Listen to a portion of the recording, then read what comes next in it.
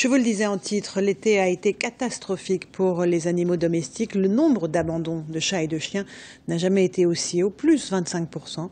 Les refuges sont débordés les associations de défense des animaux disent leur grande inquiétude. Fatima Medouni et Régis Massini. Il y a une semaine à peine, les maîtres de calife, jeunes chiots d'un mois et demi, la jettent par-dessus la grille de ce refuge. Une chute de plus de deux mètres on peut dire qu'elle revient de loin. Hein. Au début, on s'est vraiment demandé si on arriverait à, la sortir de son traumatisme, ne serait-ce qu'à arriver à la faire se réalimenter, où elle ne voulait absolument pas manger. Un abandon programmé au moment des vacances. Avant l'été, le refuge accueillait chaque semaine une vingtaine de chats et de chiens.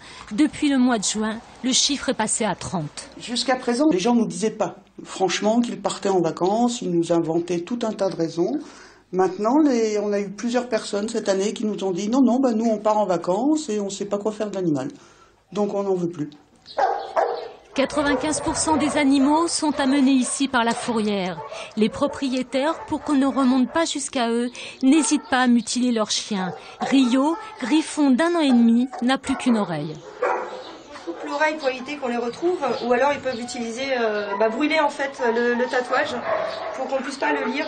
Après, le chien se retrouve euh, avec une oreille en moins, certes, mais aussi euh, une peur de l'homme qui est parfois irréversible. Les associations sont confrontées à toutes sortes d'abandons, de maltraitance. Sur ce terrain, une quarantaine d'animaux vivent depuis deux ans dans des conditions déplorables.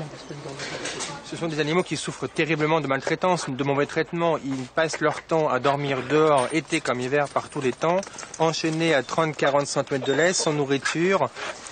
Une fois soignés, ces animaux seront confiés à un refuge, des refuges qui ne peuvent plus faire face faute de place. Seule une hausse des demandes d'adoption éviterait d'avoir recours à l'euthanasie.